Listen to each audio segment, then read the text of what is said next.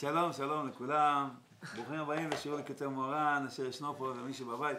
אתה יודע, שתדע שהיה פה מישהו שהיה מתלונן שזה לא מגיע, שזה לא, לא מעלים כבר זה, שיעורים של לקטר מוהר"ן. אז תראה, לא זה לא מספיק. אמרתי לו, זה ההוא שאני כל פעם מוסר לו דש, אז אמרתי, אני כל הזמן מוסר לך דרישת שעון סתם, וזה לא... זה. טוב, אנחנו נלמד היום לקראת הכנה לשבועות, היום הקדוש והנורא של שבועות. זה חג כל כך נפלא שבועות, הרי בעצם תורה נ"ו.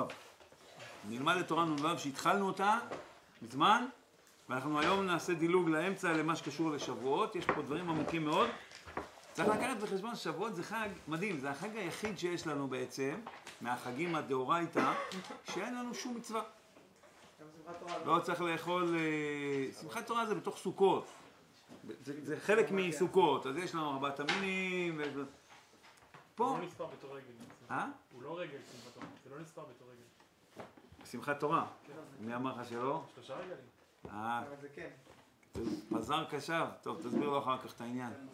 זה רגל בפני עצמו. אבל אה, לא חשוב, לענייננו, תמיד צריך לדאוג למשהו, צריך לדאוג שלא יהיה חמץ בבית, או לדאוג שיהיה אתרוג מהודר וזה, או לדאוג וכולי, תמיד יש לנו כמעט, כמעט שבועות בעצם אין שום דבר, יש מצווה אחת דאורייתא, שהיא ושמחת בחגיך, והיית אח שמח, שזה אמנם כתוב בסוכות, אבל זה על כל, כל, הרגל, כל הרגלים, ומעבר לזה שום דבר. וזה דבר מאוד מעניין להבין את זה, יוחנן. אה? זה מנהג. לא חובה. לא, זה מנהג נפלא וחשוב. זה מנהג, אין שום חיוב. תאורטית, באדם יכול רק, רק לא לעשות מלאכה ולשמוח. זהו זה. וזה מעניין, החג של התורה, בגלל שהתורה היא כלליות מאוד גדולה. אנחנו לא חוגגים איזה זווית מסוימת. תעלם אותם רגע, שמחה. שהנכדים שלהם אחרי זה יראו מה הם עושים באמצע השיעור לקוצר מורן. אנחנו בעצם חוג, לא חוגגים איזה פן מסוים, זווית, אנחנו חוגגים את כל החיבור שלנו עם התורה. חג עצום ונורא. עכשיו, אנחנו התחלנו תורה, אם אתם זוכרים בזמנו למדנו תורה נ"ו. אני אגיד לכם את עיקרי הדברים עד המקום, אני רוצה להתחיל על מאות ו'. ובגדול, הכותרת של התורה הזאת, אם נרצה לתת לה איזושהי כותרת, שהיא לא הכותרת הפורמלית, זה העניין של הדעת. וידוע ששבועות זה עניין של דעת. ומה זה דעת? דעת זה לשון חיבור, נכון? ומי ששם לב, עיקר הקושי שלנו בכל העניינים, שחסר לנו דעת. בן אדם יודע הכל בעצם, יודע, בן אדם מבין הכל, ויש לו את ה... כנ- כנתון יש לנו את הכל. אבל עיקר הבעיה שלנו זה בחיבור, נקודת החיבור, חיבור האמיתי עם הדבר. נכון? אז אה, בעצם בתורה רבנו מתחיל ואומר, אני חוזר ממש ממש בקצרה, שלכל אחד מישראל יש לו, איזה, יש לו בחינת מלכות. יש מישהו שורר בביתו, יש מי שיש לו מלכות קצת יותר גדולה, וכולו וכולו, עד מי יש אחד שהוא מושל בכל העולם. והבחינת מלכות הזאת, יש אותה באתגליה ובאתקסיה. מה זה אתגליה ואתקסיה? באתגליה זה בגלוי. זאת אומרת, יש אחד שיש לו תלמידים, או פועלים, או שהוא מפקד בצבא, או שהוא איזה איש הייטק שיש לו מפעל גדול, שיש לו הרבה אנשים שעובדים תחתיו. זה באתגליה, או שהוא מלך, אם יש מישהו כזה, או ראש ממשלה. ולעומת זאת יש מלכות אחרת, שהיא המלכות באתקסיה. המלכות באתקסיה זה ההשפעה שיש לאדם ברוחניות על אלו שהם תחתיו. ורבנו אומר שהן לא תמיד קשורות אחת לשנייה. זאת אומרת, יש אדם שבאתגליה יש לו מלכות מאוד גדולה, ובאתקסיה, אני אומר דווקא דוגמה הפוכה, שיש אדם שבאתגליה אין לו שום מלוכה בכלל, ובאתקסיה הוא מושל על כל הדור. מעין מה שחז"ל אומרים על, אה, על אה, רבי חנינא בן דוסה. שהגמרא אומרת, כל העולם כולו ניזון בשביל חנינה בני, וחנינה בני די לו בקו חרובים משבת לשבת. זאת אומרת, כולם ניזונים בזכותו, והוא מסתפק בכלום, בכמה חרובים. אני חושב, הוא לא אומר בפירוש דוגמה הפוכה, אבל זה פשוט ככה, שיש אחד שרואים אצלו באתגליה מלכות מאוד גדולה, ובאתקסיה הוא בעצם אין לו שום ממשלה אמיתית. זה רק איזה מין משהו לגמרי חיצוני. ואני אוסיף עוד מדילי, ואני אומר שיכול להיות שכל הבעיה של העולם שלנו זה שאין סינכרון בין שתי המלכויות האלה. כאילו כשיהיה סדר, ובאמת כל אחד, הרי רבנו מביא, יש שרי עשרות, שרי מאות, שרי אלפים, כשכל אחד יתפוס את המקום האמיתי שלו, אז יהיה סדר בעולם. אני מתכוון אמיתי שאם הוא, הוא ברוחניות הוא יכול להשפיע על 100 אנשים, אז הוא יהיה שר 100. זהו, לא יותר ולא פחות. הבלבול נוצר מזה שאנשים נמצאים לא במקום שלהם, וזה רע להם ורע לעולם. זה לא רק לעולם רע, זה גם להם רע. בן אדם שהוא נמצא לא במקום שלו, הוא עושה לעצמו נזקים. זה גדול עליו, זה פשוט לא המידות, הוא לא יכול לקבל החלטות ברמות האלה, והחלטות שלו יהיו מוטעות וכולי וכולי. אחרי זה רבנו אמר שכל אדם צריך לדעת איך להשתמש במלכות שלו. מה זה, איך, מה, איך משתמשים במלכות? בגדול, התנאי הכי בסיסי זה שהאדם לא ישתמש במלכות שלו להנאתו ולצורכו, אלא רק לטובת אלו שהוא מושל עליהם. בין בגשמיות בין ברוחניות. בעצם מלך אמיתי הוא משפיע, הוא לא מכבל. זה העבודה של מלך אמיתי.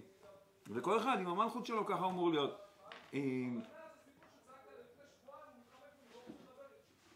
כמעט...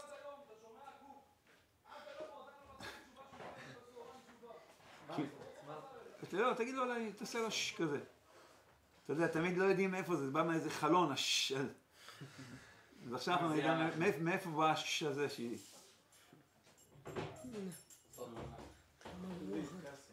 כן. אז בעצם כולנו, זה קשה מאוד. זה קשה מאוד להיות מלך אמיתי. מלך אמיתי, בכל תחום, אם זה עם, ה, עם, ה, עם הבת זוג שלך, אם זה עם ה... כי רבנו מתחיל לסורב בביתו, עם הילדים שלך, עם אנשים שיש לך השפעה עליהם. להשתמש בזה, לא להיות מכבל בכלל, רק לטובתם, להנאתם ולצורכם. זה האדם השלם, זה נאמר אשריך ארץ שמלכך בן חורין. שהוא לא צריך כלום לעצמו. זה משה רבנו שיכול להגיד אף לא חמור אחד מהם לקחתי. לא, לא לקחתי מהם כלום, אף פעם. שמואל גם כן אותו דבר, אה, יכל להתפאר בדבר הזה, שהוא לא לקח מעם ישראל כלום. הוא עשה רק... להיות מלכות או לתת למלכות? למלוך על מלכות? יש את... מלכות היא לית לנו גם מכלום. לא, יש מלך ויש מלכות, זה שני עניינים.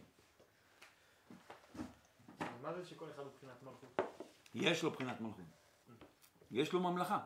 מלכות זה הממלכה. שהוא מושל... הוא מולך על מישהו. כן. כן. טוב, אז אחרי זה רבנו נכנס לבעיה טכנית, שהוא אומר ככה, שאם הבן אדם לא עושה את עבודתו כמלך, והוא לא דואג להזהיר ולהוכיח ולקרב להשען בך את כל אלה ש, שתחתיו, אז הוא נתפס בעוונותיהם. בסדר? ועל זה נאמר, הרבנות מקברת את בעליה. אם הוא לא מחזק אותם, ומקרב אותם, ומחיה אותם, ומשמח אותם, וגורם להם להתעלות בעבודת השם, העוונות שלהם הם עליו. אם הוא עושה את המקסימום שלו והוא מנסה ולא מצליח, אז על זה נאמר, צופן את עתיך לבית ישראל, ואתה כי הזהרת רשע ולא שם מרישו, הוא בעוונו ימות ואתה את נפשך הצלת. אבל אם הוא לא עושה את זה, הוא נענש על זה. וכאן הבעיה הטכנית שהזכרתי, שתי בעיות. אחת, אפילו אלה שכן קרובים אליך ואיכשהו מקבלים ממך, הרבה פעמים אתה לא יודע מה הם צריכים. הוא בא אליך ואומר לך, תשמע, אני לא יודע, אתה לא יודע מה, מה, מה הוא צריך. ויש בעיה יותר קשה עם המלכות באתגליה. כי בעצם המלכות באתגליה אומרת שיכול להיות שיש מתחתיך, בוא נאמר לצורך העניין, 60 איש שאתה לא מכיר אותם. אחד נמצא בניו יורק, אחד נמצא בפריז, 20 לא בתל אביב. אה? זה באתקסיה. באתקסיה, כן. אמרתי אתגליה? כן. באתקסיה. באתקסיה. זה ממש קשה. איך אתה יכול... אה, קרה, אני רואה שיותר קשה זה הבתגליה. איך זה יכול להיות יותר קשה? כאילו פה, חוץ מהקושי של לדעת מה הם צריכים, שהוא קיים תמיד, אתה גם לא יודע מי הם. זה הופך כאילו. עכשיו זה כאילו מוסיף שאתה לא יודע מי הם, אבל מצד שני אתה... אתה לא רואה את הבעיה מול העיניים לפחות. השם מסדר לך את זה, כאילו כן, כל מה כאילו- שאתה עושה הוא מסדר את זה שזה ילך אליהם. פה שאתה יודע מי אלה, אתה צריך לעמוד מולם ולדבר איתם ולסדר להם את ה... מי אמר לך שהשם מסדר? אולי גם פה הוא מסדר. אז רבנו אומר שלצורך הדבר הזה צריך דעת. למדנו את זה, אתם זוכרים את זה, כן? ואת הדעת מקבלים מהתורה. הרב עוד פעם, מה הבעיה- באתגליה? באתקסיה. באתגליה, שאתה לא יודע מה הם צריכים. ובאתקסיה אתה לא יודע מי הם בכלל בשביל לעזור להם. ורבנו אומר שהעצה היא דעת, ומה קורה בדעת, ואז רבנו מביא, ומפה זה מתחיל להיות קשור אלינו, זאת אומרת, הכל קשור אלינו, אבל זה קשור למה שאני רוצה לדבר עליו היום. רבנו אומר שיש כל מיני הסתרות בעולם. מה ההסתרות מסתירות? הן מסתירות את הדעת, הן מסתירות את החיבור. יש הסתרה, והסתרה שבתוך ההסתרה. כן? כמו בשיר הידוע, שנכתב על התורה הזאת. ורבנו מסביר איך, איך נוצרות ההסתרות. עבר ושנה נעשה לו כהיתר, זה הסתרה אחת. אם אדם ממשיך לעבור, ההסתרה נהיית נסתרת ממנו. מה זה אומר הסתרה שבתוך ההסתרה? הסתרה אחת זה ש, שנסתר מהבן אדם שמה שהוא עושה זה לא בסדר.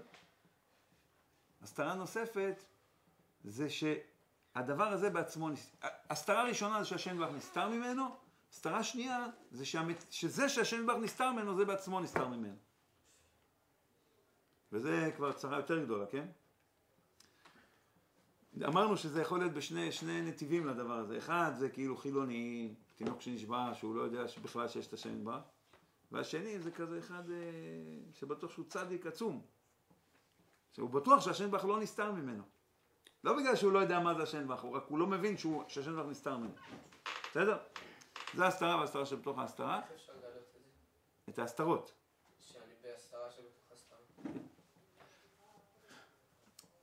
אני כבר אגלה לך שאתה, בהסתרה שבתוך הסתרה בבחינות מסוימות, לא בהכל. יש דברים שהם נסתרים לך בהסתרה שבתוך ההסתרה, ויש דברים שהם לא. העבודה היא, זה על ידי התורה. רבנו אומר שכשכמה שאדם לומד תורה יותר בקדושה וטהרה, הוא מתחיל לקבל דעת. והדעת, התכונה שלה, שהיא ההפך מההסתרה. בעצם ההסתרה זה שהדעת נסתרת מאיתנו. אתם מבינים מה אני אומר? וכמה שאדם זוכה לדעת יותר עמוקה של תורה, בעצם הוא מתגלה לו יותר ויותר שאין עוד מלבדו. ואפילו הוא מביא פה אפילו במחשבה, דיבור ומעשה של עבירה, גם שם נמצא השם ברח, רק בהסתרה, שבתוך ההסתרה. וכמה שהוא זוכה לדעת הזאת, הוא בעצם מגלה את ההסתרות, ואז התורה בעצמה עושה את העבודה שלו, ומקרבת את האנשים אליה. היא מכריזה, עד מתי פתאים תאהבו פתי, בראש הומיות תקרא, ואז אנשים, האלה שתחתיו פתאום, כמה שהוא עושה את העבודה הזאת ומקבל דעת יותר עמוקה, האנשים שתחתיו מעצמם פתאום חוזרים בתשובה. וזה קשור ישירות אליו, הוא עשה את שלו, הוא לא צריך להכיר אותם בכלל. בסדר? זה המהלך, ה... שלד המהלך. רבנו מכניס את כל זה במה שכתוב במגילה, ובכל יום ויום מרדכי מתהלך לפני חצר בית הנשים, לדעת את שלום אסתר ומה יעשה בה. אז הוא מביא שבעצם כולנו נקראים נשים. והמציאות שלנו כן. והמחשבות, המחשבות והפנימי, המחשבות והדיבורים שלנו נקראים חצר בית הנשים. למה נשים? רבנו אומר שיש שלוש בחינות בעניין של הנשים, כן? מלכות? אה? כי אנחנו מלכות? לא בגלל שאנחנו מלכות, בגלל שאנחנו נשים, אנחנו לא גברים. בשלוש בחינות. אז הוא אומר ככה, יש, אה, הוא מביא ש- שלוש בחינות, בחינות למה זה נקרא נשים. אחד, שנשו וקפצו ממקומו של עולם, שנתרחקו מהשם יתברך. שתיים, זה שיש כאלה שכבר היו קצת אצל השם יתברך, אבל כבר שכחו אותו. זה מלשון שכחה, תהום הנשייה. כי נשני אלוקים, כן? מלשון שכחה, שכחו את השם יתברך. ויש שגם עתה זוכרים את השם יתברך, אך שנשתה גבורתם ואין אין לאל ידם להת- להתגבר על יצרם. אז בעצם כל מי שהוא לא צדיק, עובד השם, חזק, גבר, איש חיץ שהולך ממדרגה למדרגה, שזה פחות או יותר כולנו, בבחינה מסוימת, אז הוא נפל לבחינה של נשים, של אישה. או מלשון שהוא נשע וקפץ ממקומו של עולם, זה אפשר להגיד שזה ההסתרה שבתוך ההסתרה. יש אחד שזכר שיש את השם בך, אבל הוא כבר שכח אותו מלשון נשייה, ויש מלשון סתם נשתה גבורתם. אני פעם רציתי לתרץ, לתרץ לעצמי מה זה הסוג השלישי הזה שרבנו לא מזכיר, את לא מזכיר אותו, נכון? רבנו אומר שכשאדם עובר עבירה, אז עבר ושנה נעשה לו כתר, וכשהוא עובר עוד הלאה, אז הוא אפילו לא זוכר בכלל שהדבר הזה היה עבירה. בסדר? יש שלב ראשון שהוא הוא זוכר שזה עבירה, נגיד לשון הרע. בן אדם דיבר לשון הרע פעם, פעמיים, הוא זוכר, תגיד לו, זה לשון הרע? כן. אתה זוכר שזה עבירה? הוא זוכר, אבל הוא מרשה לעצמו לדבר. זה הסתרה ראשונה. הסתרה שנייה זה שהוא בכלל לא, לא מבין שזה לשון הרע, כן? אז איך בן אדם מגיע לעשות את העבירה הראשונה, שהיא, שהיא, שעל, ידה, שעל ידה הוא נכנס לה- להסתרה הראשונה? רוח שטות. נכון, אבל איפה זה כאן בתורה? אז חשבתי אולי זה הסוג השלישי שרבנו מביא כאן, שנשתה גבורתם. זה מתחיל בזה שבן אדם הוא לא, הוא לא מאמין שיש לו כוח להתגבר. הוא פתאום נהיה כזה מין... אה, הוא רוצה לשמור על העיניים, אבל לא נראה לו שהוא יכול. הוא מרגיש חלש. הוא רוצה לקום בבוקר, הוא לא נראה לו שהוא יכול, הוא ממש מרגיש חלש מאוד. אז ההסתרה הכי גדולה זה על הכוח שלנו. זה רבנו אומר בת- בתחילת הליקוטי מורן, אל תהיו כפיל וכגמל. זוכרים את השיר הזה, בתחילת הליקוטי מורן, אז רבנו כזה פונה אל- אלינו ואומר לנו, חזק ונתחזק, ואל תהיה כפיל הגדול וכגמל. אפילו כשמושכהו בחותמו העכבר לא יבעט בו. וכל זה מחמת שטות, רוח שטות, שאינו יודע מכוחו. אבל נפשי החזקה מהפיקחת. זאת אומרת, בעצם אנחנו נמצאים באיזשהו מצב של אה, חלישות. כמו נשים. עכשיו, מה זה נשים? נשים הן לא יוצאות למלחמה, אין דרכה של אישה לכבוש. היא פסיבית. אנחנו במצב פסיבי, אנחנו לא מה... אנחנו... ויש, ויש, ויש לה, בתוך ההוויה שלנו הרבה, הרבה בחינות. יש דברים שרק אנחנו... שעדיין אנחנו לא מטושטשים בהם, אבל אנחנו, אנחנו לא מחוברים עם הכוחות האמיתיים שלנו, כוחות הנפש שלנו, כוחות הנשמה שלנו. זה ההסתרה הראשונה. יש, ה, יש דברים שבהם אנחנו כבר לא מאמינים בכלל ש, ש, שאנחנו יכולים... אה, אנחנו כבר לא... זה הפך לנו כמו היתר. ויש דברים שאנחנו בכלל לא מודעים שאנחנו, ש, שוויתרנו עליהם. אנחנו בהסתרה שבתוך ההסתרה. מישהו מכם חושב על זה שהוא ויתר על, על אה, זה? על נבואה למשל? מישהו מרגיש פה שהוא ויתר על להיות נביא? אתה, אתה כבר ויתרת אבל? בטח שלא, אבל אתה הולך על זה? אתה, רוצה להיות נביא? אתה חושב על זה? לא. מי אמר לך? אף אחד אבל לא חושב על זה נו, אז מלכתחילה. ייבנה בית המקדש, מה הבעיה? ואם לך סתם רוח הקודש כמו של רבנו, עזוב נביא, נו. מה שאפשר היום בימינו. כמו הארי הקדוש. שרבי חיים איתנו, זה היה אחרי החורבן הארי הקדוש, נכון? שרבי חיים איתנו, שהיה יודע סודות כל בני אדם, מה היה, מה יהיה, גלגול של מי הם, מה זה, מה התיקון שלהם. מספיק את זה. מה רע בזה? זה דברים שאנחנו ויתרנו עליהם, כי אנחנו במין חלישות. והצדיק הוא, הוא זה שעוסק, ובכל יום ויום מרדכי נצטרך מחצר בית הנשים, לראות את שלום אסתר ומה יעשה בה. לקחת את, ה, את האסתר, את ההסתרה, ולהפוך אותה לדעת. בסדר, זה כל העבודה שלנו בעצם. להוריד עוד הסתרה, לזכות לדעת פתאום, כשבן פתאום הוא יודע ומבין שאני מחובר גם לדבר הזה. תראו את זה, את, אתם מבינים מה שאני אומר פה, שאני פה מחזק את עצמי? אה? לא, אתם מבינים מה שאני אומר? יש, אה, אתם תראו את זה על אנשים אחרים, לפעמים אתה רואה בן אדם אחר שהוא מתחבט באיזה קושי. אני זוכר לפני כמה פעם אמר לי בן אדם אמר לי, אני כל כך רוצה לשמור שבת, אני לא יכול. ממש, אני כל כך רוצה... והסתכלתי עליו וידעתי, מה אתה לא יכול? מה אתה רוצה? תשב על כיסא, לך לבית כנסת, תשב ככה, אל תעשה כלום, והנה, שמרת שבת. אל תלך לבית כנסת, שב בבית. אל תדליק את האור. מה קשה בזה? אבל בתוך המציאות שלו הוא ממש קשה לו, הוא רוצה לשמור שבת והוא לא מצליח והוא מתחבט ב... אדם אחר, הוא כאילו... סיפר לי פעם איזה איש, איש עסקים גדול שהוא הוא, הוא, התחיל, הוא חזר בתשובה. והוא לא ידע איך, איך אתה, מה אתה עושה עם העסקים בשבת. אה, כל כך מורכב את זה, אז סיפר לי שהוא משמיים פעם הוא טס במטוס עם איזה איש עסקים גדול מאוד, אה, חרדי. אז הוא כל כך שמח, הוא אמר, וואי, משמיים שמו אותי לידך. הוא אומר, לו, תגיד לי, איך שומרים שבת ב... אם... כשיש לך עסקים גדולים? אז הוא אמר, לא יודע, אני לא מכיר משהו אחר. הוא אמר, מה זאת מה הבעיה בזה? מה... מגיע שבת, זהו, סוגרים את ה... כלום, אין כלום. הוא כאילו, ידע, צריכים, איך אתה מודיע? לא מודיע כלום, פשוט סוגר את הכל בשבת. אצלו זה היה פשוט לגמרי. אז כשאנחנו רואים בן אדם כזה, שהוא קשה לו, לא, קשה לו לשמור שבת, אז מזה, מזה בוא נבין שגם אנחנו, יש לנו את הדברים שבהם, כשהם נסתרים מאיתנו, קשה לנו לשמור עיניים. מה קשה לשמור עיניים? אני לא מדבר על אחד שזכה לזה.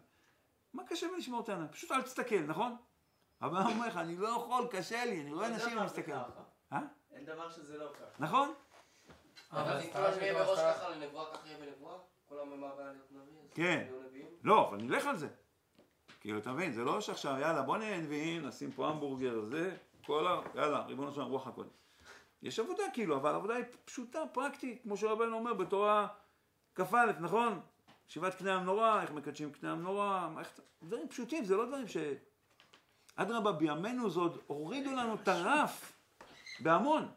רבי אמר שהגיע הזמן שבן אדם שייטול ידיים בכשרות יהיה חידוש כמו הבעל שם טוב. זאת אומרת, היום כבר לא אומרים לנו, לא, הדרישות הן לא כאלה גדולות. אבל יש הסתרה מאוד גדולה שאין דעת, אנחנו לא מחוברים עם הדבר. בן אדם שהוא מחובר עם משהו, הדבר הזה מחיה אותו.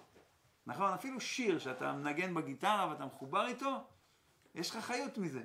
כשאתה לומד גמרא ואתה לא מחובר איתה, אין לך חיות מזה. אם פתאום נוצר פה איזה מגע אמיתי, איזה דעת, והיה לך קושייה ותירוץ, פתאום זה, זה מחיה אותך. וככה כל, כל מצוות התורה. רואים, הגמרא אומרת על רבי יוחנן, שהוא היה מניח תפילין, היה מאושר. שאלו אותו מה, אז הוא אמר, תפילין כמה נחנו, אני מניח תפילין, מה? מה השאלה, מה אני שמח? אח של רבי אבאו, פעם אמר להם, כשהם הולכים לשם, תגידו, תמסרו לו דרישת שלום, כי הוא אדם גדול, שאלו אותו למה הוא אדם גדול, אז הוא אמר, פעם הוא, הוא שמח גאולה לתפילה, הוא התפלל בנץ, ולא פסיק חיוך מפומי כל יום, כל היום היה מאושר. מה קרה, מה אתה מאושר? התפללתי בנץ, מה? פעם אחת. כאילו, אתם מבינים? איך זה אמור להיות? זה, ככה זה אמור להיות, רק יש הסתרה. והצדיק הוא ה, כאילו בעצם הגבר, הוא המרדכי הזה, הרב חסד, הוא המלכות, מור דרור, שהוא לא רוצה כלום לעצמו, והוא רק מסתובב מול חצר בית אנשים, ואומר לנו, חבר'ה, יאללה, אין ייאוש בעולם כלל, תתחילו, אתם יכולים הכל, אל תהיו כפיל וכגמל. תבינו מי אתם, מה אתם מקצצים לעצמכם את הכנפי רוח שלכם, מה אתם עושים, מה אתם כל היום אוכלים המבורגרים, מה יש לכם? כן? שפנים. אה? למה? אה, אוכלים שפנים. אז בעצם הסוד של הכל זה הדעת, ורבנו אומר דבר מאוד עמוק, שכשמגלים את ההסתרה וההסתרה שבתוך ההסתרה, אז דווקא בהסתרה שבתוך ההסתרה, זה, הכי, זה השמחה. דווקא בתוך ההסתרה שבתוך ההסתרה, מלובשת הדעת הכי עמוקה, התורה הכי עמוקה, הדעת הכי עמוקה. זה הסוד שמהירידה הגדולה שירדנו, בסוף תתגלה דעת. ועברתי בארץ מצרים, אנוכי ולא מלאך, אנוכי ולא שרף, אלא השם נדבך בעצמו. במצרים, בתוך ההסתרה שבתוך ההסתרה, שם מלובשת הדעת הגבוהה ביותר. לכן אתה תראה, אתם תראו שבן אדם, לא יודע מה, הגיע עכשיו להודו, לתאילנד, לא יודע, פתאום, ופתאום מוסרת ממנו ההסתרה, ופתאום הוא מבין את המציאות שלו, והוא אומר, מה אני עושה פה בכלל? זה קורה בגלל שמישהו באיזה בית מדרש, הוא בדיוק עשר עשרות שלו, הבין איזה חידוש בתוספות והתלהב. כן? ו... ואז כשהוא, כשהוא, כשהוא מתעורר, אז הוא לא מתעורר ואומר, וואי, שור שנגח את הפרה נראה לי משהו מגניב. לא, הוא מתעורר ואומר, וואי, יש את השם יתברך בעולם, יש אלוקים במקום הזה ואנוכי ידעתי. הוא ישר מקבל את האורות הכי הכי גבוהים. זה הסוד שעם ישראל. כשהם יתעוררו, אז, אז יגיעו לקרבת השם הכי גבוהה שיש. מה שאמרת זה בגלל זה מבחינת מלכות שהוא מולך על הבן אדם הזה, או שזה... כן. אמרתי עשר עשרות שממונה עליו. פתאום, אה, או אפילו לא, הוא פתאום, זה, אני אמרתי דוגמה לא טובה, אמרתי פתאום הוא הבין תוספות יפה, זה נפלא. אז הוא יביא לו הערה בנשמה. אבל זה אפילו יותר מזה, הוא פתאום יבין שמה שהבן אדם הזה, הוא לא מכיר אותו, אבל מה שהבן אדם הזה נסע לתאילנד, זה לא בגלל שהוא רוצה לפרוק עול. זה דבר הרבה יותר עמוק, הוא מחפש את השם יתברך. ואז איך זה? כן. כל זמן שאתה, שמעליו, אתה לא מזהה שאפילו העבירה שהוא עושה מלובש בה איכשהו תורה, מלובש בה איזה משהו של תורה שהתעוות, אז אתה, אתה בעצם מרחיק אותו מחוץ ל, ל, לשם יתברך. אתה משאיר אותו בהסתרה. ברגע שאתה יודע לקשר אותו, תראו, סתם, אני אוהב לתת, תראו את רב שלמה קרליבך, שהוא היה עוסק בזה המון. היית הגיע להודו, אז הוא בא ואומר לה, הוא מדבר שם להודים, איזה ארץ מקסימה יש לכם. אני חשבתי לעצמי, הייתי בא שם, אני אומר, פי, מה זה הסירחון פה, עבודה זרה בכל מקום. איזה ארץ מקסימה, מה יש גווארד? אבל ירושלים. הוא כאילו באותה נשימה מכניס את הירושלים הזה. ובאמת רואים שאנשים, ברגע שאתה אתה פתאום מזהה בתוך ההסתרה שלהם שהם לא... היו אצלי בסוכות איזה חבר'ה חילונים מבוגרים, יותר מבוגרים ממני. אז הם, מצאתי להם איזו שיחה, ואחרי זה היה שם אחד שהוא אמר לי, דיברת מאוד יפה וזה, והוא אמר לי, אני אחראי, ב, לא, לא זוכר באיזה תחום, על ארגון הלל. אתם יודעים מה זה הלל?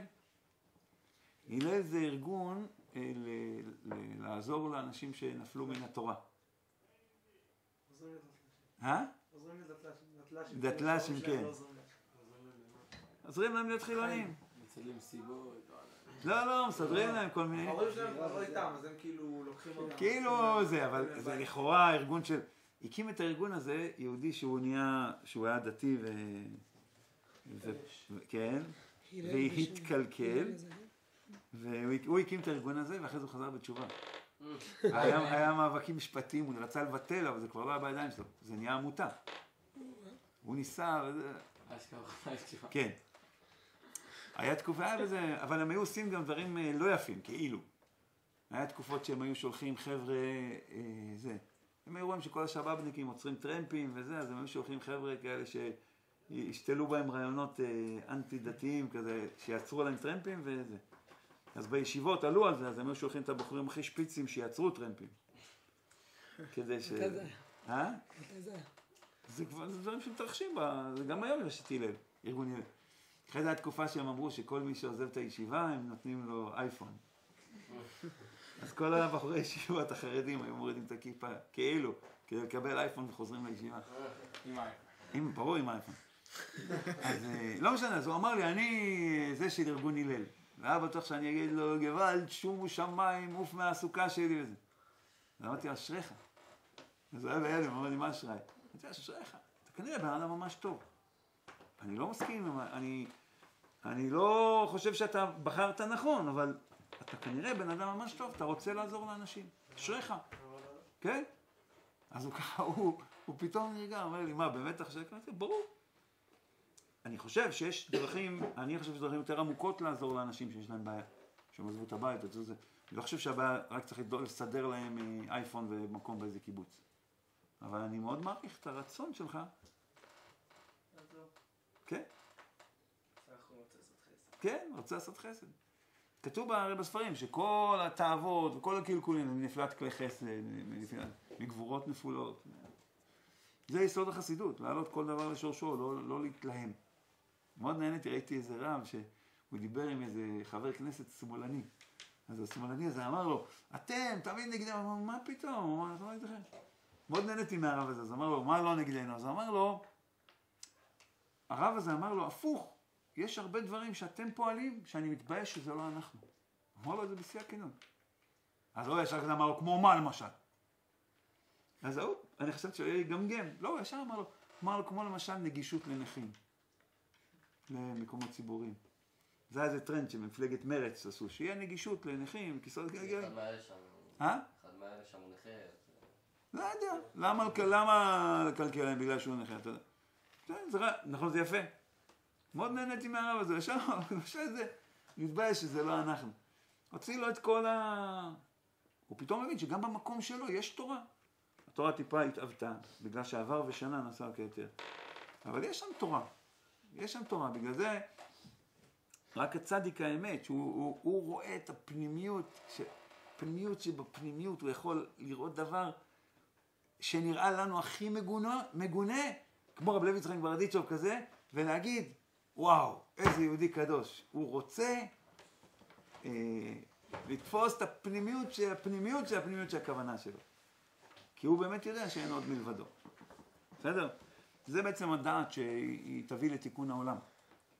תיקון העולם לא יבוא מתוכחות ומגוון ואוי ויי וגם לא מ- ממחוק דבר... מה, מה נתחיל עכשיו להרוג את כולם? נתחיל בערבים, נמשיך לשמאלנים ואחרי זה את ה... כאילו, איפה זה ייצר הסיפור הזה? הדעת האמיתית זה להפיץ כזאת דעת בעולם שהיא יכולה לחבר את כולם. שבאמת יכולים להתחבר, ואתה בא לבן אדם הזה ואומר לו, אתה רואה? כי אם, תס, אם תסתכלו, הזכרת את ה, קודם את האינטליגנציה החיובית. הוא אומר שם שרוב הריבים בין בני אדם, רוב המחלוקות, זה ברמת הדעות. אני תכף אסביר לכם את זה עם דוגמה, אתם תבינו. אבל הוא אומר, ברמת הכוונות או הרצונות, שם ברוב, בין רוב האנשים אין מחלוקת. אתן לכם דוגמה. נגיד, אנחנו נמצאים פה בתוך סיטואציה מסוימת בארץ, סיטואציה פוליטית, מוקפים במלא ערבים ויש מלחמה, אוקיי? אז אומר לך, תיקח איזה נער גבעות כזה, תושיב אותו עם איזה שמאלני תל אביבי, אוקיי? אין, הם לא יכולים, זו שפה אחרת, הוא לא מבין על מה הוא מדבר. ההוא אומר לו, צריך שלום עם כולם, וזה לעשות שם. והוא אומר לו, אתה לא מבין שהערבים זה הם רוצחים? מה אתה... רק כוח הם מבינים, נכון? שם זה יעצר. אבל אם הולכים לרמת הרצונות, אז לפני, מה, מה הצעדים הפוליטיים שאתה חושב שצריך לנקוט? אבל מה אתה רוצה? אני אומר אני רוצה שלום. וואלה, גם אני רוצה שלום. נכון? אנחנו יכולים לח- לחלוק על מה הפעולות שצריך לעשות עכשיו בדרך ל... עד שיגיע הנבואה שיהיה שלום. אבל ברצונות, אתה מבין מה אני אומר? דעת זה להיכנס למקום העמוק יותר. ולהתבונן מה הרצון של הבן אדם. כמו שהוא מביא בהמשך, למעלה את הפסוק, בכל מקום מוכתר ומוגש לשמי. הקדוש ברוך הוא אומר, בכל מקום מוכתר ומוגש לשמי. קולטים את הפסוק הזה? שן ברוך אומר, תשמעו, אתם רואים כנסיות, אתם רואים בתי עבודה זרה, אתם רואים מסגדים, כולם עובדים אותי. גם אלה שעובדים פסלים, שאני ציוויתי לא לעבוד, הם עובדים אותי. מה, המשמע, מה הפירוש? איך הם עובדים אותו? כי בעצם, למה, מי, למה איזה הודי שנכנס לבית עבודה זרה ומשתחווה לפסל? למה הוא משתחווה לפסל? מה יש לו להשתחוות לזה? כי הוא חושב שזה משהו שראוי להשתחוות לו, נכון? אז בעצם הוא מתכוון להשתחוות למשהו שראוי להשתחוות לו. רק הוא בטעות, הוא מגיל אפס, לימדו לו שהפסל הזה יעזור לו, אז הוא משתחווה לפסל, אבל בעצם מה שהוא רוצה זה לעבוד את השם יתברך. כל מי שרוצה חופש, שלום, שוויון, אה, לא יודע, זה הכל דברים קדושים מאוד, זה רצונות קדושים מאוד. אנחנו גם רוצים חופש ושלום ושוויון ואהבה. השאלה, בגלל העבירות של הבן אדם, כשהוא חושב על חופש, זה מצטייר לו להעיף את הכיפה מהראש. הוא לא לך בן חורין, אלא מי שעוסק בתורה, כן? או כשהוא חושב על אהבה, הוא חושב על דבר, לפעמים שהוא הכי רחוק מאהבה שאפשר. כי בתוך הכלים המקולקלים שלו זה, אבל מה הוא רוצה באמת? הוא רוצה אהבה. אתם מבינים מה שאני אומר? טוב, אז אנחנו, אנחנו בתור הכנה לחג השבועות הבא עלינו לטובה, אנחנו נלמד מתורה ו', מאות ו', סליחה.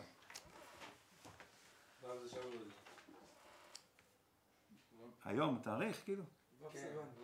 בסדר. ולפי הגדלת הדעת, כן הפרנסה בנקל. אבל אני אומר, תשמע, אני מדבר איתכם על דעת, שאתם תזכו לצאת מההסתרה שבתוך ההסתרה, וזה, אף אחד לא יתייחס לזה. אני אגיד לכם עכשיו, יהיה פרנסה בנקל.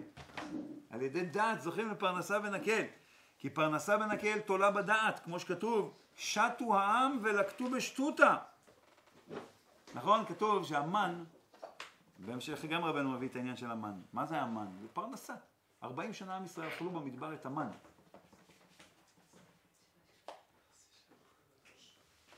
המן זה היה דעת מאוד גדולה. גם לחם, כשאנחנו אוכלים לחם, כתוב שהתינוק אין בו דעת, כל זמן שהוא לא אוכל לחם אין, אין לו דעת.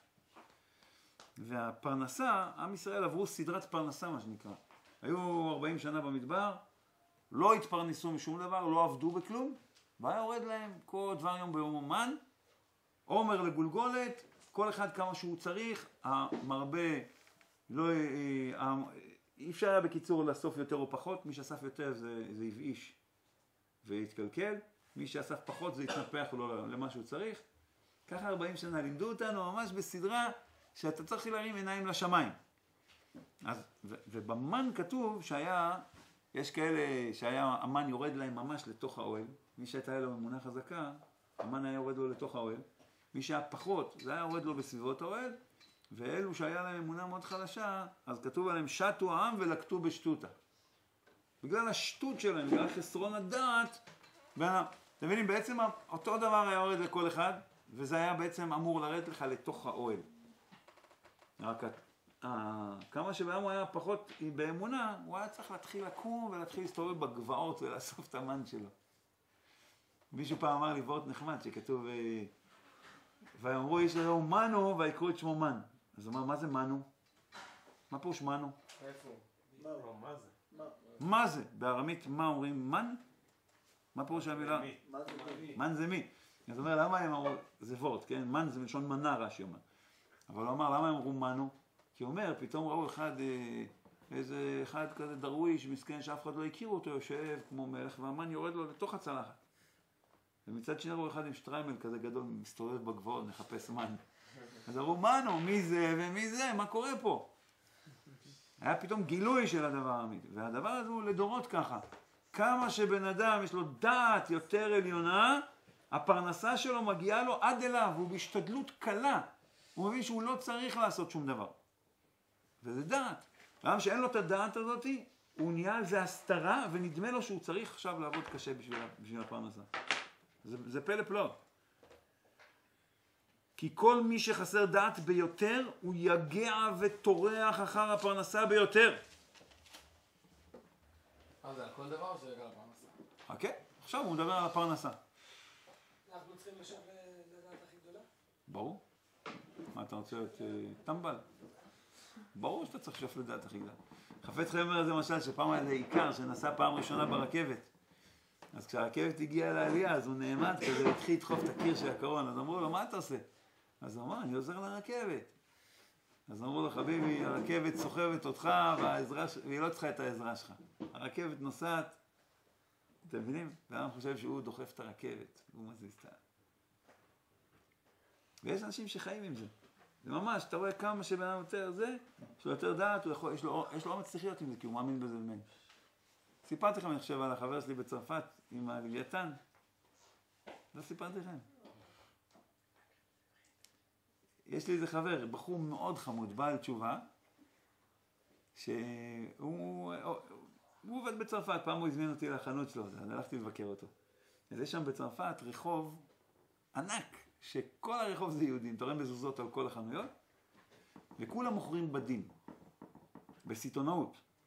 באים שם אנשים מכל העולם, קונים בדים, אה, ואתה רואה בכל החנויות גלילים ענקים של בדים מסודרים, מאות מאות גלילים בכל חנות. קיצר, אני מגיע לחנות שלו, הבן אדם מתפרנס בכבוד, אני כבר אומר לכם את זה מראש. כן, אני בא לחנות שלו, אני רואה חנות ריקה, אין, אין שום אה, בדים בתוכו. אני נכנס, אני רואה אותו יושב על השולחן עם אה, זה, חוק לישראל, ליקוטי מוהר"ן, כמה ספרים ככה, יושב, לומד. ויש לו בחוץ את האוטו היפה שלו, ואת האופנוע שלו, ואת הזה שלו, מתפרנס טוב. אז אני נכנס, אני צוחק, אני אומר לו, תגיד, מה זה? זה חנות בדים הדבר הזה? אז הוא אומר לי, כן. אז הוא אומר לי, מה... אני שואל אותו, איך אתה מוכר פה? אני אומר, "אה, תדאג, מוכר, מוכר כבר הרבה שנים, הכל טוב, תהיה רגוע. אז הוא אומר לי, אני לוויתן.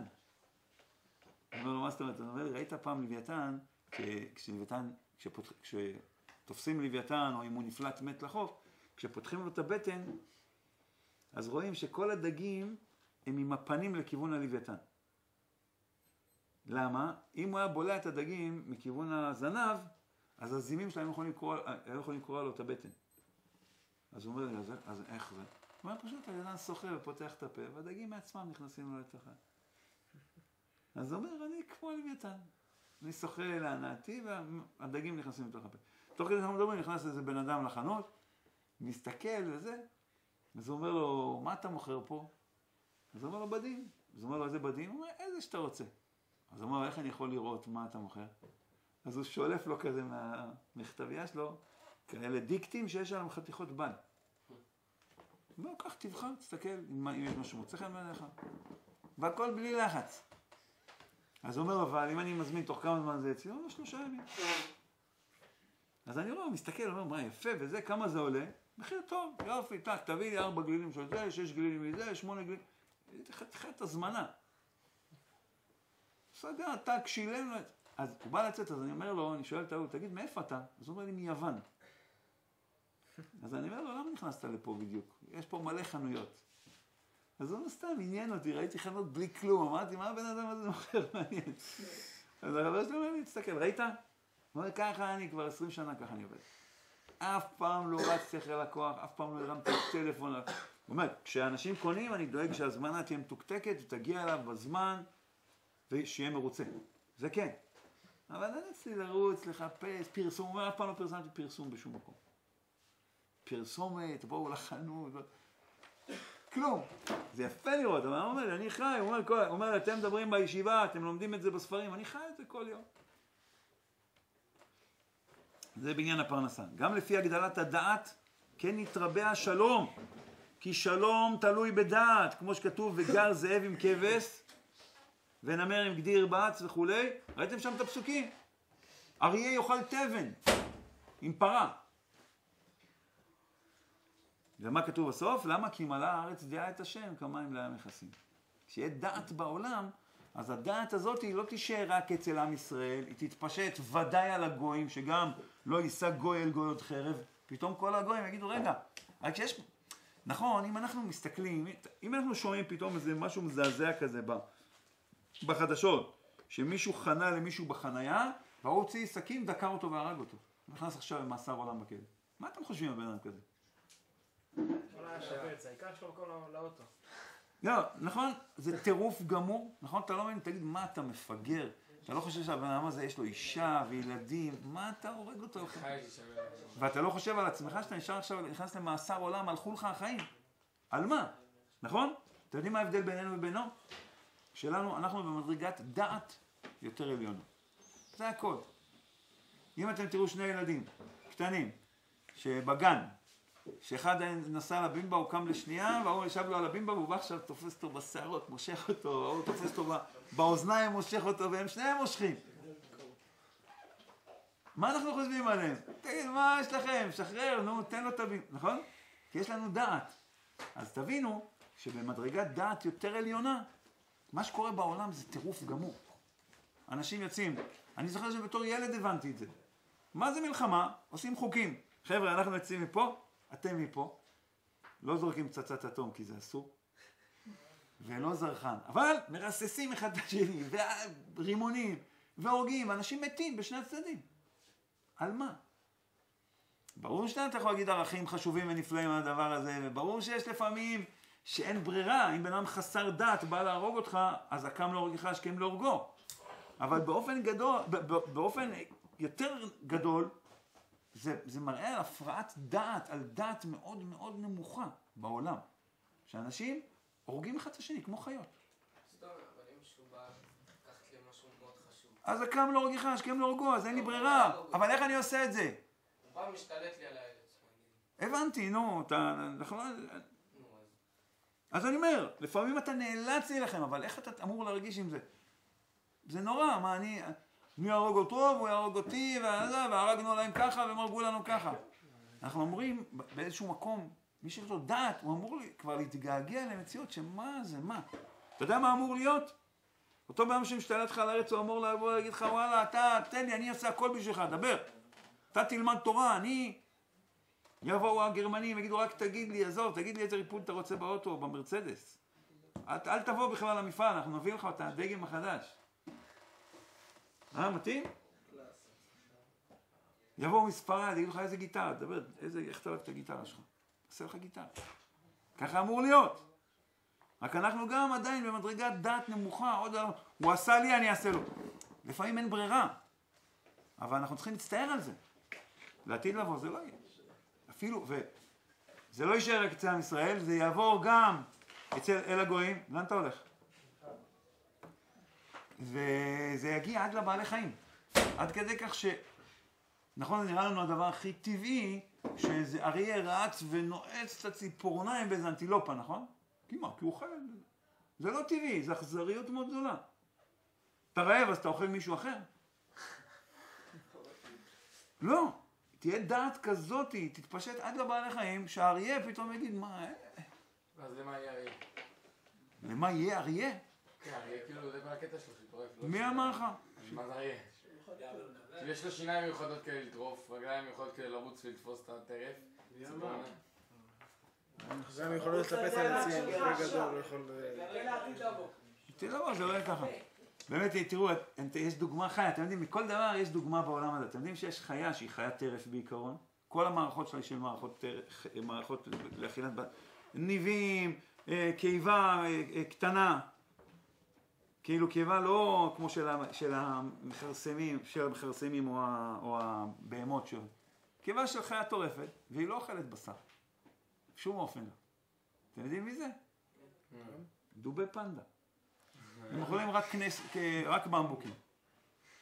בגלל זה דוב פנדה צריך לאכול 80 קילו במבוקים ביום, אני חושב, משהו כזה, משהו כזה. כל היום הוא יושב אוכל במבוקים, כי... אבל הוא לא טורף.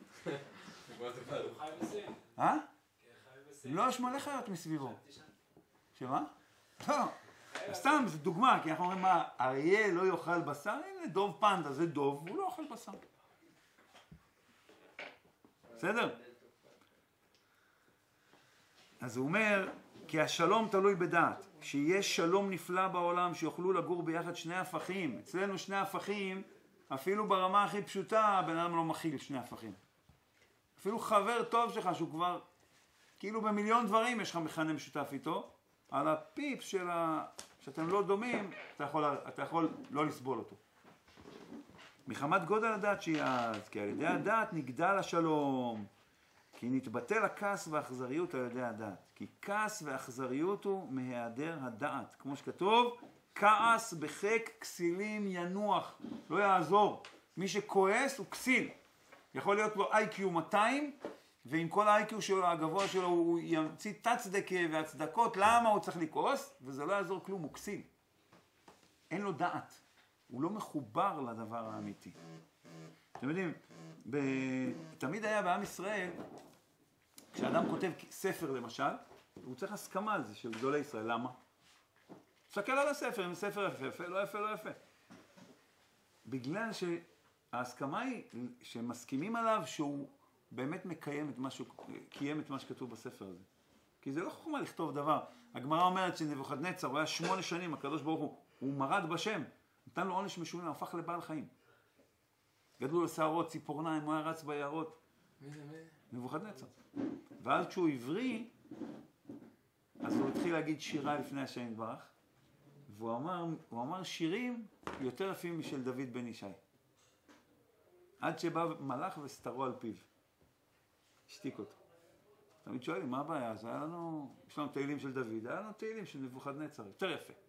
מה הבעיה? כי זה לא חוכמה... אה? כן. מה זה מיוחס? זה בית ספר דניאל, הוא אמר את זה.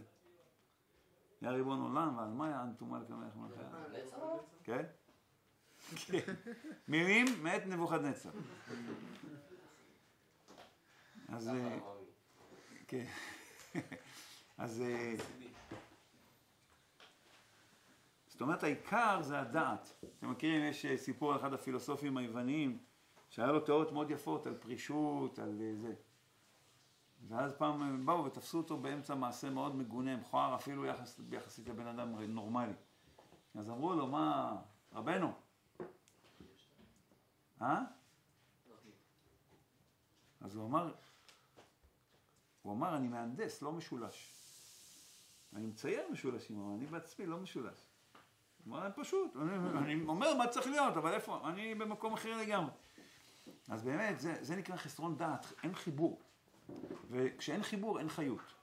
כשאתה מדבר על משהו שאתה לא מחובר אליו, אין לך חיות. תראו את זה גם על אנשים שהם מחוברים לאיזה משהו פשוט, כשהוא מדבר עליו, אתה רואה אותו, הוא מתמלא חיות, כי הוא מחובר לדבר הזה. הוא לא סתם מדבר על זה בצורה חיצונית. מה שיהיה לעתיד לבוא זה דעת כזאתי, שזה ישפיע על הבן אדם. שהוא פתאום רואה שהוא לא כועס. הוא לא כועס.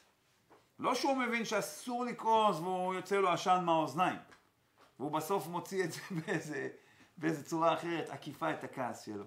לא, הוא פשוט לא כועס. הוא, כמו שאתה מסתכל על אדם שמתפרע ודוקר מישהו על זה שזה, הוא על דברים הרבה הרבה יותר אה, כאילו מרגיזים, הוא לא מתרגז מהם. הוא רואה את זה מהצד, הוא אומר, טוב, ממש. מכיר את הסיפור על הצדיק הזה שזה? שפעם הגיע אתרוג אחד מאוד מאוד יפה שם לכל האזור. וכל העשירים עשו עליו אה, זה, מכירה פומבית, והצדיק הזה לא היה כל כך עשיר, אבל פתאום הוא נזכר שהיה לו כסף שהוא שמר לנדוניה של הבת שלו, וזה, רצה לחתן אותה, אז הוא העלה את המחיר, טראח, קנה את האתרוג. ואז הוא בא מאושר הביתה עם האתרוג הזה, ואמר לאשתה, תראי איזה אתרוג, היא אמרה לו, אשריך בעלי, והצדיק הזה שאלה אותו, אבל מאיפה היה לך כסף לקנות אותו? אז הוא אמר לה, זה מהכסף של החתונה של הבת שלנו.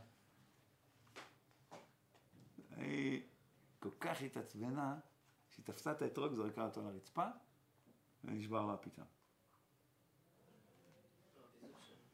לא, זה לא. פשוט איזה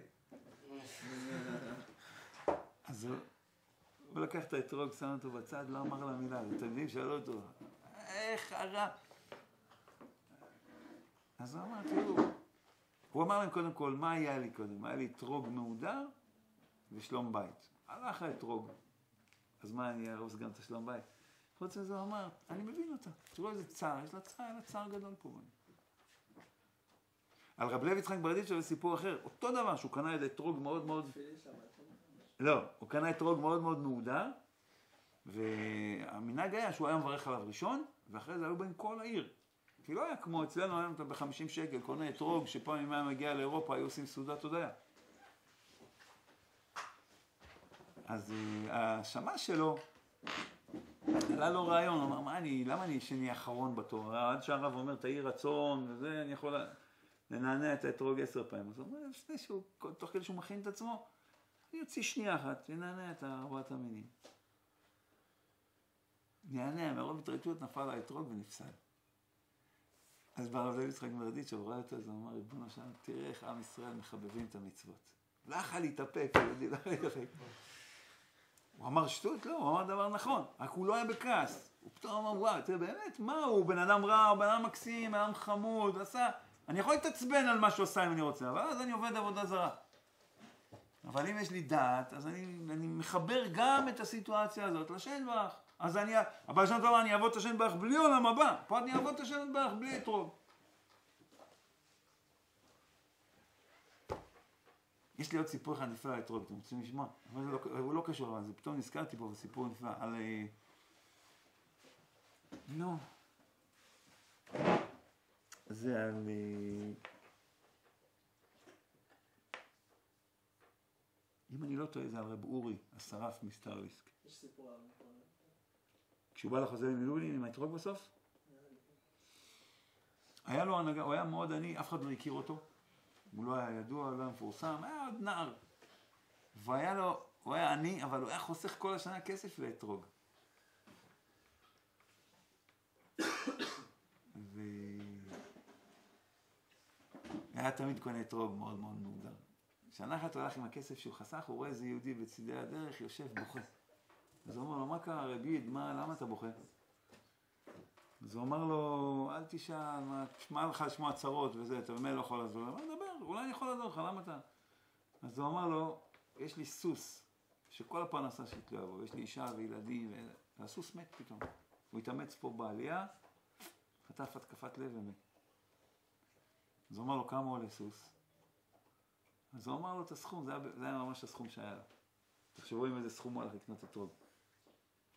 אז הוא אמר לו, אל תדאג, הנה השם בר חזר לך, נתן לו את הסכום, ההוא, או, הנה, הציל, זה היה הפרנסה שלו, כן? אמר, לך תקנה לך סוס חדש, שיהיה בהצלחה, והלך. אבל עכשיו לא היה לו אתרוג. אז הוא הלך, סתם הסתובב בשוק, הוא ראה איזה אחד שמכר קישוטים לסוכה, והיה לו גם ארגז של אתרוגים, שזה... לקישוט. אז הוא אמר לו, מה זה אתרוגים פה? אז הוא אמר לו, אתרוגים, רובם פסולים בכלל, וזה, זה לקישוט. הוא אמר אני יכול לחפש לי פה אתרוג? אמר, קח, אם מצאת משהו כשר תרוויח. הוא חיפש, מצא איזה אתרוג, כזה, כנראה עם שלוש קצוות, כמו שהרבנו בסיפור מציע. אתרוג כזה טיפה משונה, אבל הוא ראה שהוא כשר. אה, מבסוט. בסדר. הלך לבית מדרשו של החוזה מלובלין.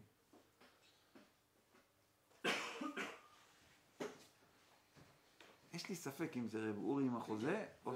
כן? זה בטוח, כן. כן? בקיצור, החוזה מלובלין היו מביאים לו תמיד, כל, כל עשירי האזור היו מחפשים, כל אחד היה מחפש את האתרוג הכי מהודר, והיה מביאים לו את זה, והוא היה יושב בבוקר של סוכות, והיו מביאים לו את כל האתרוגים, הוא היה בוחר אחד. אז הוא בא וכולם מביאים לו, לא, לא, לא, לא, לא בחר אף אתרוג. ואז פתאום הוא אומר, אני, מריח פה ריח גן עדן, יש פה איזה אתרוג מגן עדן. כולם התלהבו, כולם אמרו, אולי הרב יראה את שלי, וכל אחד הביא לו את האתרוג, הוא מסתכל, לא, לא.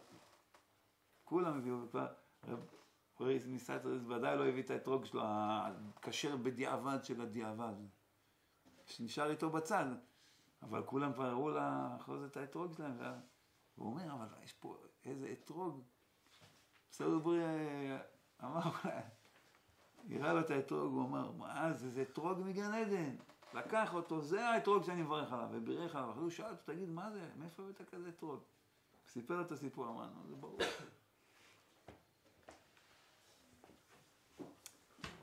דעת זה חיבור. אם הוא מחובר לדבר שה... אז כסף, מה הכסף? עכשיו אתה צריך לעזור ליהודי, זה יותר חשוב מהאתרוג. ואז האתרוג שלך גם כן זה אתרוג אחר, זה אתרוג מגן עדן. הפרנסה שלך היא אחרת.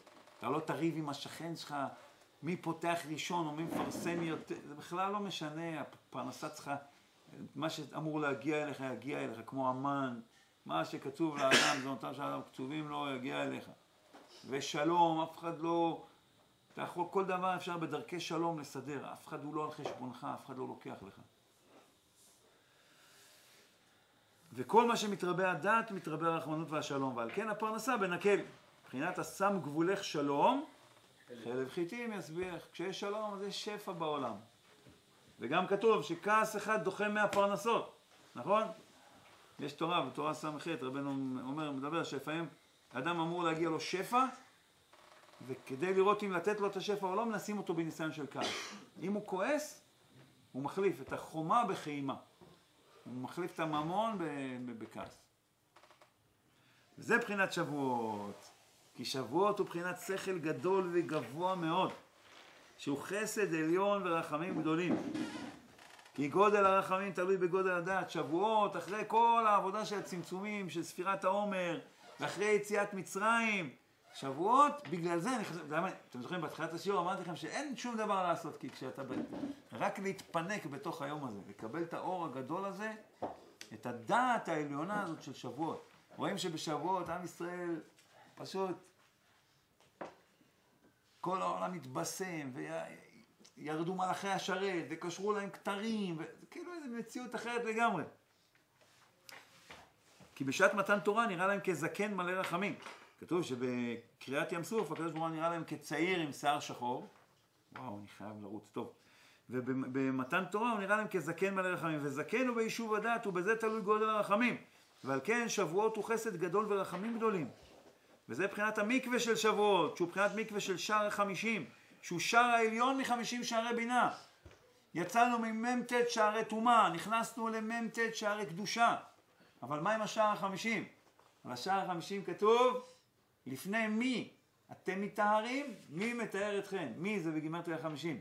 לפני מי? לפני שער החמישים, אתם מטהרים, עשינו עבודה, הכנו את עצמנו, התארנו, שבע שעות. אבל מי? היום בעצמו מתאר אותנו. הקדוש ברוך הוא משפיע דעת כזאת עליונה. זה מבחינת המקווה של שער החמישים, שהוא כמו שכתוב בכוונות שבועות, שהוא מבחינת שכל ודעת עליון, מבחינת חסד עליון ורחמים גדולים כנ"ל. ועל כן המקווה מוציע, מושיע מכל הצרות, כמו שכתוב מקווה ישראל מושיעו בעת צרה. אני חושב, על מי זה הולך מקווה ישראל? זה הולך על הקדוש ברוך הוא, שאנחנו מקווים לו, נכון? אבל מקווה זה אחת מה... שלוש מצוות שאנחנו נכנסים לתוכם. את כל המצוות אנחנו, אנחנו מקיימים. אני מניח תפילין, אני לובש ציצית. מקווה, אתה נכנס, אתה לתוך המקווה. יש גם את סוכה ויש גם את ארץ ישראל.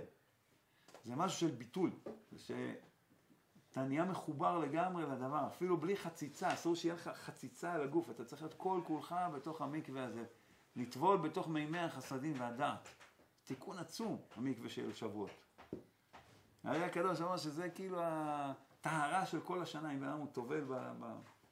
אבל לפנות בוקר הזה של שבועות, זה ממשיך אורות עצומים ונוראים. כי הוא חסד עליון שמושיע מכל הצרות. ועל כן המקווה מתאר מכל הטומאות. כמו שכתוב, וזרקתי לכם מים טהורים וטהרתיהם, כי אין איסורים בלא עוון. ועל כן המקווה שמושיע מכל הצרות ומכל האיסורים, איך הוא יכול להושיע מכל האיסורים? הרי אין איסורים בלא עוון. אז השורש של האיסורים זה העוונות. ממילא ברור שהוא מתאר מכל הטומאות ומכל החטאים. ככה הוא מושיע מכל הצרות.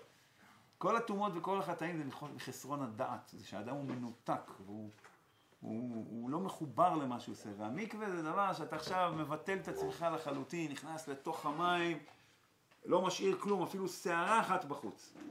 ואתה חוזר למין מצב של עיבור, ואתה נכנס לתוך מימי החסדים, ואתה באמת כתוב בספרים, הרי הקדוש אומר שסגולה לכעס לטבול במקווה. ולכוון, הוא אומר מה לכוון. אבל זה מרגיע את הכעס. כי כל הכעס, כל הטומאות, האדם שהוא נכנס לתוך מימי הדעת, זה מתאר אותו מכל הטומאות. יש סיפור על הבעל שם טוב שהיה בעיירה פעם, היה שם איזה כומר שהוא היה, היה לו כוחות ראייה רוחניים. אז הוא פעם אמר לבעל שם טוב, אני לא מבין, אני רואה אנשים, חבר'ה מאצלכם מסתובבים מלאים בקליפות, ומזיקים עליהם, אחרי זמן קצר אני רואה אותם בלי כלום. ואמרתי לו, אתה אומר כן, הם טבלו במקווה. אנחנו לא רואים מה זה עושה לבן אדם המקווה. זה דבר מאוד עמוק.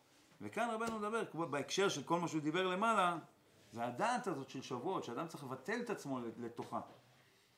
אני, יש דברים שמרגיזים אותי. אני, יש לי רעיונות טובים בענייני הפרנסה. ואני, אה, יש מלחמות שאני חייב להילחם אותן. אבל אם בן אדם הוא משחרר את האני והאני אני הזה, וזה מפחיד את כולנו, כי אנחנו רואים, אם, אם אני אשחרר את זה, אז מה יישאר? אני אשאר כזה מין סמרטוט? לא, אתה לא תשאר, אתה תהיה משה רבנו. אתה תהיה דוד המלך. מה, הם היו כאלה סמרטוטים? בכלל לא.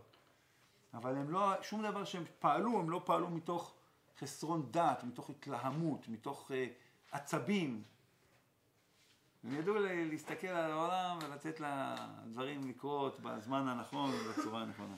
טוב, אני פשוט אה, צריך לאסוף אותי.